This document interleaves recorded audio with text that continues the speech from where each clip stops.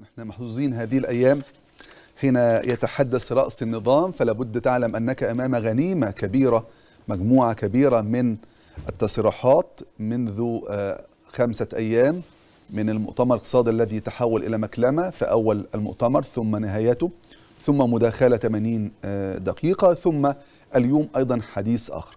حقيقة طبيعة الدول وطبيعة رؤساء الدول حين يتحدثوا يتحدثوا إلى شعوبهم من أجل بث الاطمئنان الثقة وضع الشعب أمام فكرة ورؤية وخطة إدارة الدولة. إنما للأسف كلما تحدث رأس النظام في هذا الوقت كلما شعر الشعب بشكل كبير جدا من الخوف وعدم الاستقرار. كلمات هنا وهناك إنما النهارده حضراتكم طبعا كان في آه، يعني اجتماع مع رجال الأعمال والصناعة وأيضا كالعادة تحدث رأس النظام اليوم هي تحدث عن دراسات الجدوى. ولدين المرة تقريبا الرابعة. لأول مرة إن أنا آه، أشوف بشكل أو بآخر إن يجي آه، مسؤول ايا كان. يعني حتى لو مسؤول وحدة محلية.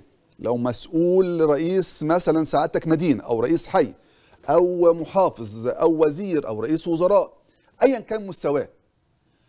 لأول مرة يحقر شأن الدراسة دراسة الجدوى. وان ليس لها قيمة. ساعتك.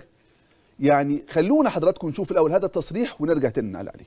نفقده أكتر من كده آه، في الدراسات. في إيه؟ في الموضوعات المحسومة. في كتير من الأنشطة اللي بتتعمل. بتبقى محتاجة الدراسات ديت عشان نطمن إن هي تبقى لكن في حاجات باينة جدا واضحة جدا زي موضوع الخامات الدوائية اللي بيتكلم عليها. زي موضوع ال ال ال المعدات كلها اللي إحنا بنجيبها. يعني النهارده لما بنتكلم على ترومبات لغاية ال 80 طن يا جماعة إحنا بنتكلم على حاجة كريمة هيتصرف عليها حوالي تريليون جنيه وهتفضل في عملية احلال وصيانه لها خلال السنين اللي جاية. يعني ما حدش يعني يبقى قلقان قوي على إن المنتج اللي هو طالع معاه ممكن يتعرض ل كلام أنا يعني كلام أنا حتى الآن مش قادر أستوعبه. وأي حد عاقل فاهم أي طالب في كلية تجارة أي طالب حتى يا بلاش بلاش طالب يا أخي. أنا أقول لك القصة الجميلة بتاعت عم عبده البقال. عم عبده البقال اللي فاتح دكان بقاله بقاله 20 سنة. وعم عبده البقال بيبيع عادي مفيش مشكلة. والواد حمادة بقى خريج لسه الجامعة حب يعمل مشروع.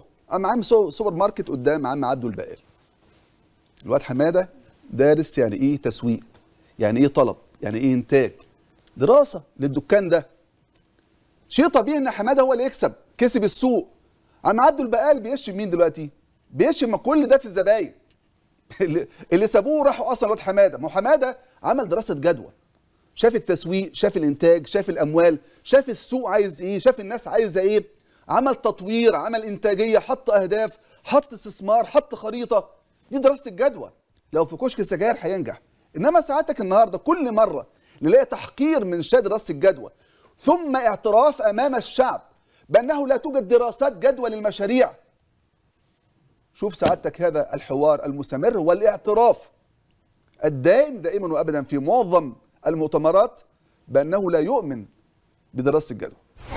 ممكن أدرس وأرد على سيادتك لا أدرس إيه؟ وأدرس هتدرس أدرس. الموضوع زي ما انت عايز إحنا وإحنا في مصر كان دراسات الجدوى لو أنا مشيت بيها كنا هنحقق فقط 20 ل 25% مما حققنا.